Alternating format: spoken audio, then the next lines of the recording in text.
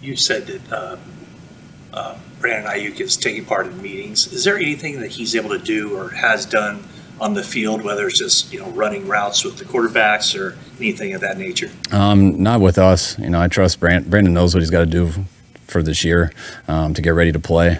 Um, I have a feeling he's finding a way to stay in shape and do those things. Um, but there's a football shape element that I know he's eager to get back to, and us too. Um, so hopefully we can get to that soon. But uh, Brandon knows what he's got to do to be in shape for the season, and I feel confident he's doing that.